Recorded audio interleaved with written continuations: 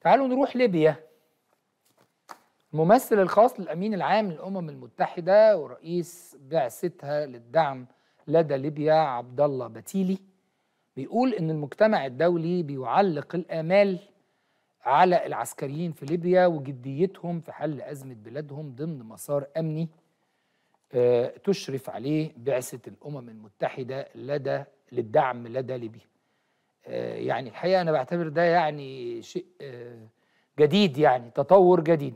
التصريح ده جه في مؤتمر صحفي عقده بتيلي النهارده في مدينة سرت اللي بتشهد على مدار يومين امبارح والنهاردة اجتماعات اللجنة العسكرية الليبية المشتركة عشرة اللي كان اسمها خمسة زائد خمسة والمشكلة من طرفي النزاع العسكري الليبي.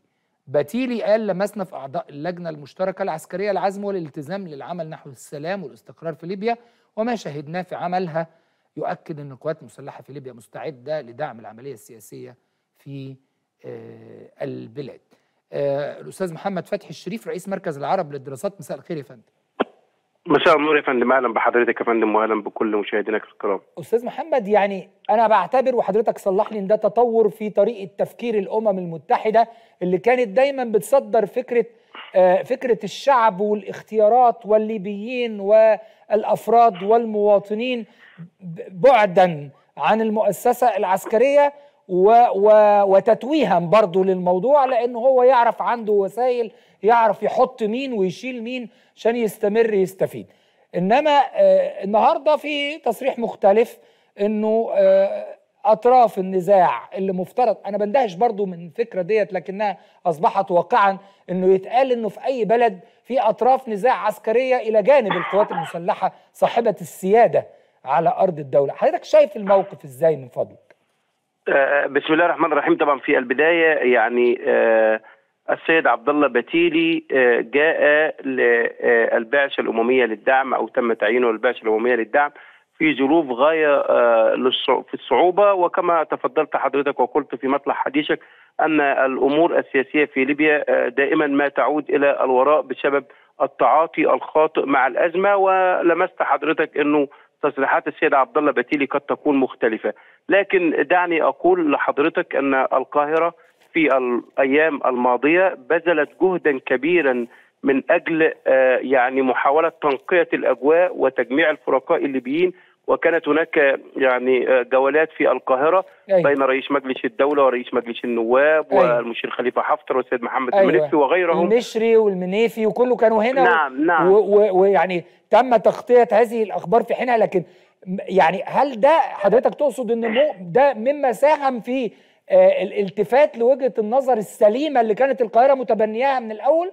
نعم نعم. هي آه، هي وتلك هذه ارهاصات ومقدمات لأن القاهرة آه، تريد أن يكون هناك حل ليبي ليبي من خلال تجميع كل هؤلاء الفرقاء ومن ومن خلال محاولة أن يتم وضع استراتيجية مخالفة لما وضعتها الأمم المتحدة لأن الأمم المتحدة ومجلس الأمن وضعوا آه، خرائط طرق بداية من اتفاق السخيرات وحتى اليوم كانت محصلة النتائج فيها صفر. ولذلك السيد عبد الله بتيلي آه، جاء لكي يكمل النقطة الإيجابية الوحيدة في الملف الليبي منذ 2014 اللي هي وجهة نظر مصر.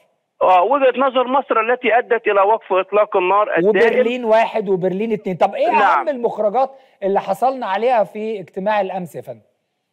هو السيد عبد الله بتيلي كما قال في تصريحاته الصحفية وكما قال في الكلمة المتلفزة آه أنه آه آه يعني استطاعت اللجنة العسكرية المشكلة أن تتوافق حول عدد من الأطر المهمين جدا والإطار الأول هو تثبيت آه، عمليه وقف إطلاق النار لأن عملية وقف إطلاق النار هي النقطة الإيجابية في المشهد الليبي بالإضافة إلى أن الشيخ عبد الله بتيلي وأعضاء لجنة خمسة زائد خمسة التقوا المراقبين الدوليين والمحليين وبحثوا معهم إمكانية استكمال آه، الأعمال آه، الخاصة بوقف إطلاق النار وتثبيته بالإضافة إلى بحث الملف المهم في الأزمة الليبية وهو القوات الأجنبية والمرتزقة بالإضافة إلى الشيخ عبد الله بتيلي أعلن عن أن هناك يعني ملف المرتزقة والقوات الأجنبية أن هناك يعني اجتماع سيحدث بين دول الجوار وخاصة في الجنوب الليبي السودان وتشاد والنيجر حول هذا الملف وملف المرتزقة تحديدا. طيب بالإضافة إلى أن اللجنة يعني أحدثت توافق لأول مرة